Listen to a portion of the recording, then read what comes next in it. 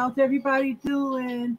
It's Mocha Meema. Welcome to my recap of Married at First Sight Nashville.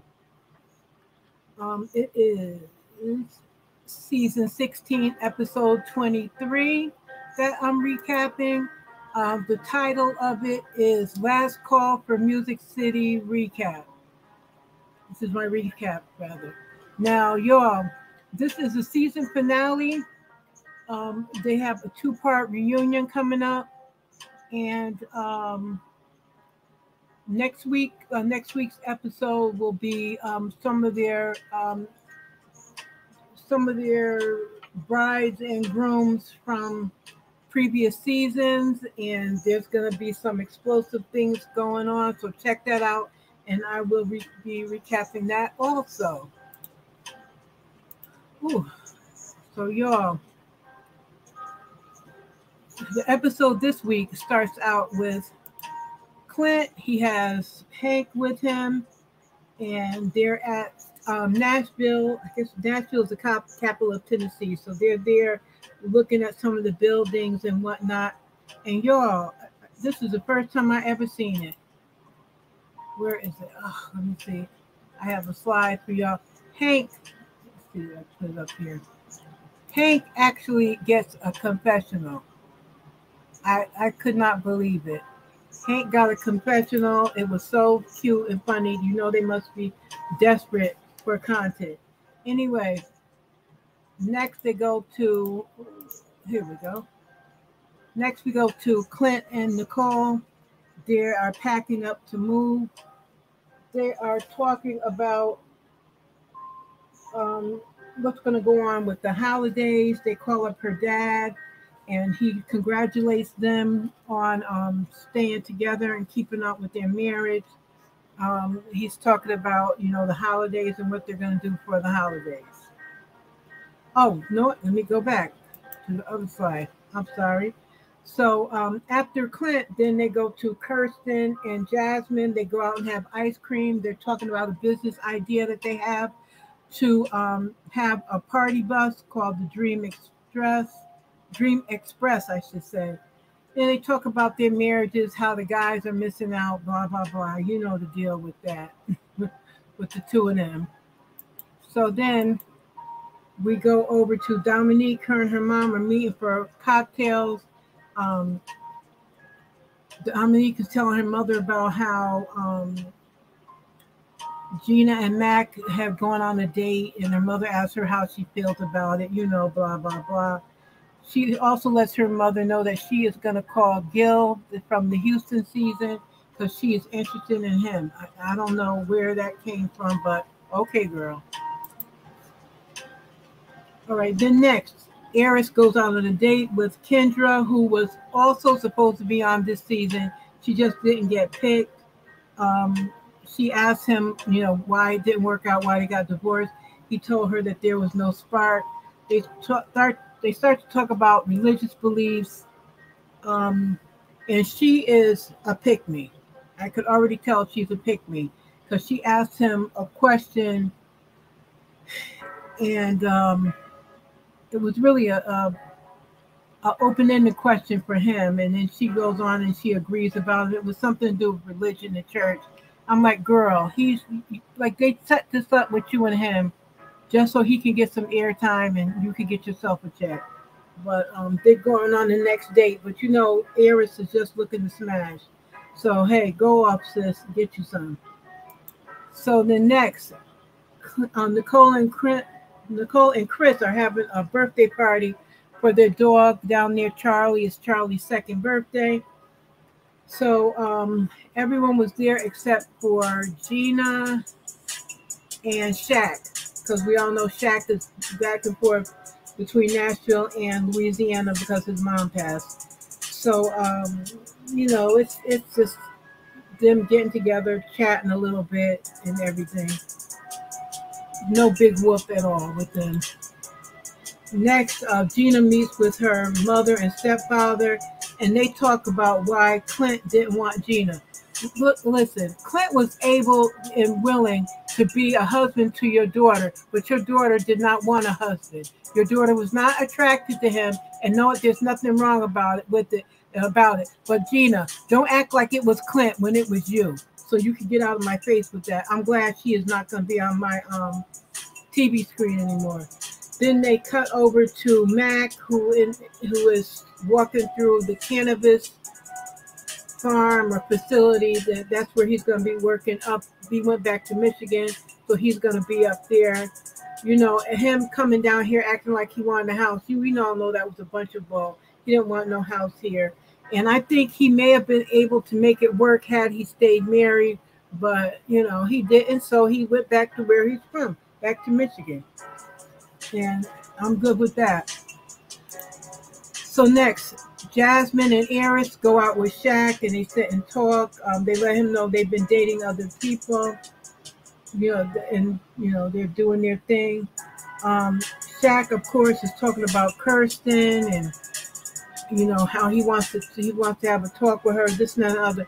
Shaq can also get out of my face and take them other two with you, because Jasmine, you're acting too much like you're just over things, and we know that um, Airris was just an F boy anyway, so we know the deal. So that whole scene, like they're giving us like these nothing scenes to fill up the episodes when they could have just condensed a whole bunch of this stuff and gave us the two hour show and we would have already been done by now but okay lifetime so um next curse let's see oh clint goes to check out a dog. He's looking at labradoodles that look kind of like hank.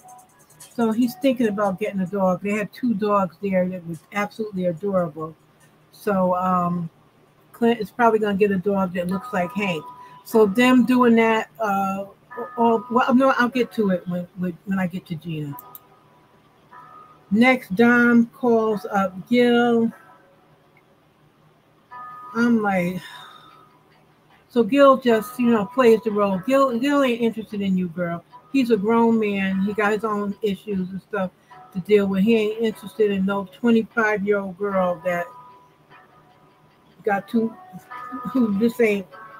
I, you know what? I I can't stand Dom. So Gil's not interested, girl. Move on. Find someone your age that lives in Nashville, not somebody all the way in Houston. Give me a break.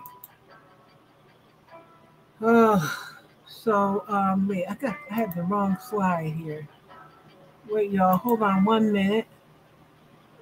Go through my go through my slides. I have the wrong.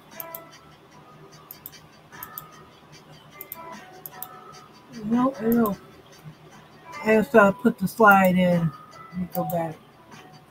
So um, next, Kirsten is talking to her cousins, and she let, lets them know that Shaq is no longer a member of their family, and they talk to her about moving on and about what her feelings are now, and she really wants some closure. But um, girl, let that go.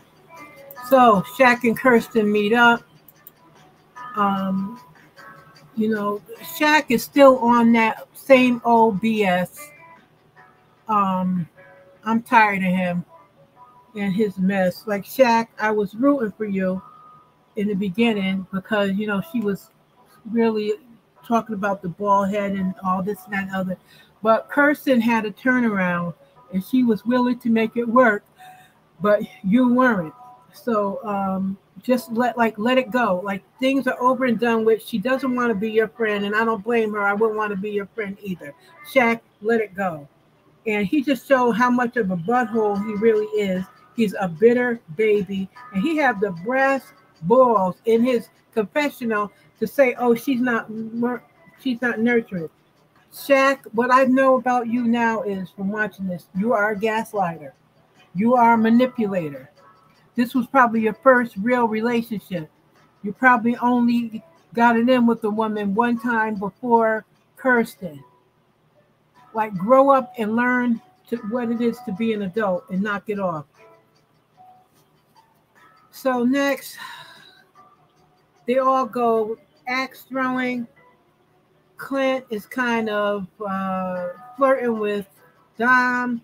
Gina is feeling some type of way. You can see it on her face. But Gina, don't feel some type of way. You ain't want the man. So knock it off. And they do a little contest between the two of them. And they end up kissing and that's kind of where the episode went off. Um, it, I mean, it was all it was. Uh, at this point, like I said, it's just a whole bunch of filler stuff. I'm tired of it. I'm tired of them. I want this to be over and done with. Um, I really need for this show to be off my TV, but I think the next the the, the reunion is two parts um, the episode that's coming on next week, like I said earlier, it's going to be um, some past guests. We see that toxic idiot Lindsay up there, and Steve is sitting with someone, I guess one of the ladies from another season. And of course, Lindsay has to open up her mouth and everything else. So we get to see her act like a jackass, and I, hopefully that will be the last time I see her on my TV screen because I was sick of her from then, and I'm sick of Lindsay now. So y'all, I'm over overmasked for this season. I can't wait for us to get to Denver. Um, i think if I I think I've been through Denver on in the airplane, but I'm just, I'm just, um, you see, I'm just, I'm over this whole season. I'm tired of it. I am done. I want this to be over with. And um, that's it, you guys. Please make sure you like and subscribe. Click on the bell button for the uploads. You guys, I appreciate you being here listening to my quick recap um, part of me didn't even want to do a recap because this show just gets on my nerves at, at this point. And it's always like that when it gets late in the season. It really will work your nerves, and, and it has, especially with this season, with um with four four couples that broke up, one couple standing, and and, and know what? An aside for that one couple that's standing for Nicole. Chris don't really want to be with Nicole. Um, it's almost like he's a living hostage because she's getting on his nerve his nerves. You could tell by just the look on his face. When they had the party for the dog, Nicole said in her confessionals how they're the only couple and like they want to show everybody, girl, shut up. Shut up. Because I understand now why you were single. Chris is getting tired of you. I'm already tired of you and you thinking that it's all that. Chris might have just stayed because I heard allegedly they get extra money if they stay or whatever. So that may be why you guys are still together. So what you can do, you can shut the hell up, Nicole. Stop comparing yourself to everyone. Stop acting like you're better than because you are not. You just met someone who is willing to deal with your toxicity for a coin. So stop it. So y'all, I'm about to get out. Say it with me, kids. If protecting my peace makes me the villain, then bitch, my name is Thanos.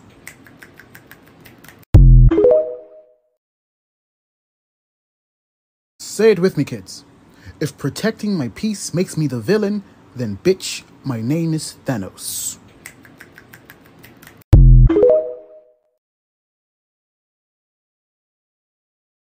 And thank you guys once again for watching. Remember, like, subscribe, click on the bell buttons for the uploads. Um, I have a series going on. I did uh, some deep dives into Peter Thomas, Cynthia Bailey's ex-husband from Roa, so you can check that out. Um, I also have some uh, tribute videos to Miss Jackie O um, and Donda West. I have a bunch of shorts out there. Check out some shorts. I give some little inspirational messages that I found with those shorts. And y'all, I appreciate you being here. Have a good rest of your day, night, or evening whenever you watch this. Remember, I appreciate you so much for being here. And get me now. I'm at 12, over 12,500 views. So I'm getting up there. And like, like I said before, this is not a sprint, it's a marathon. So I'm just getting used to being in these YouTube streets and and whatnot. So I'm just taking my time and I'll get there when I get there. So love you guys. Thanks again.